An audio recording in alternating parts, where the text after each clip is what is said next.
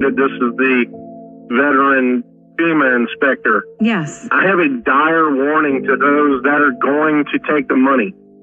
There is a contract at the hmm. beginning when when the inspector gets there before he starts inspecting. There's a contract that the claimant has to sign. Practically illegible. The, the writing is so small. That 12 years ago, I had to use a magnifying glass, and that's when my eyes were good.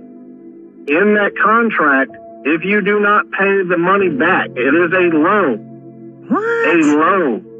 And even if it's just a dollar or $750, if you don't pay it back, they have the right to seize all of your property.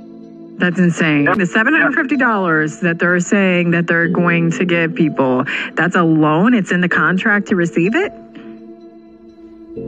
Yes, there, there is a contract that you sign before the inspector starts his inspection. You have to sign off on it, but there is a contract inside, and they even have, even for people that could not speak English, there was a translator um, that I would speak into it, and it would speak to them in Spanish or translated in writing. And they have to sign this contract for the inspector to even start the inspection.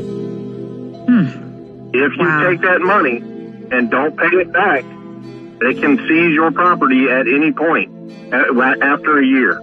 That's crazy. Well, thanks for the heads up. Uh, so, folks, uh, heed his his message here. If there's anything that you got to sign or contract before you receive any assistance, make sure that you are well aware of what you're signing.